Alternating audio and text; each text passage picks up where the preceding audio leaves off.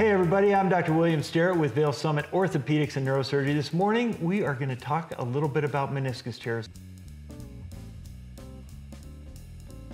So the meniscus is the cushion between the femur and the tibia, and everybody's worried about it, and rightly so, to worry about the cushion in my knee. If I tear my meniscus, can't you just sew it up? I want to keep all the cushion. The problem is, if it's causing symptoms, it's already doing damage to your knee. So we got to do something. Either we got to sew it up or we got to trim it up. You can't just leave it alone.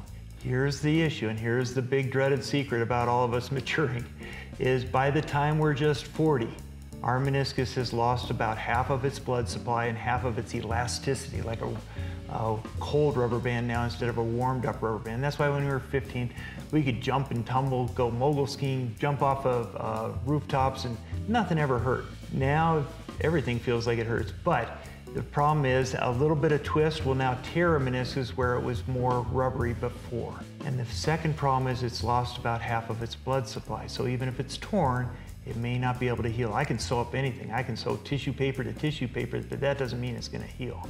You need a good blood supply. So the art of all this and our job, or my job, is to figure out which meniscus tears have good enough blood supply to heal so that I can sew it up for you. So let's go through the uh, knee model just a little bit now.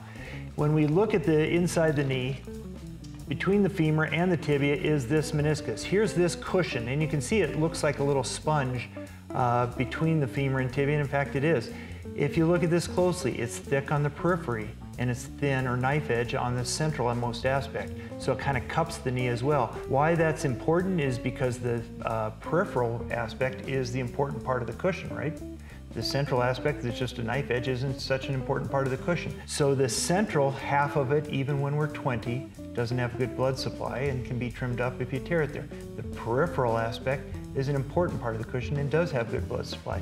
That blood supply unfortunately creeps back a little more peripheral, a little more peripheral by the time we're just 60. Uh, that uh, blood supply is only on the outer quarter maybe at best. So you want to find out where that meniscus tear is, what kind of meniscus tear it is, does it have a good chance of healing? For me, I usually counsel folks that if it has a 75% chance of healing or more, I think it's worthwhile sewing it up. If it's a 25, 30, 40% chance of healing, it's not worth the uh, double and triple rehab times to sew it up for you. So when you see your meniscus tear, ask your sports medicine doc, is it the type that can heal? Is it the type that can't heal? Is it the type that's worth sewing up? Not all meniscus tears need surgery. If it's asymptomatic, there's nothing I can do to make it better if it doesn't hurt. Just because you have a meniscus tear doesn't mean you need surgery. It's the symptomatic ones. What are the symptoms? Locking, catching, swelling. You get one of those or multiple of those symptoms, you need some attention to it, especially the swelling. Swelling's telling us, Mother Nature's telling us, you've got a high friction system going on in there.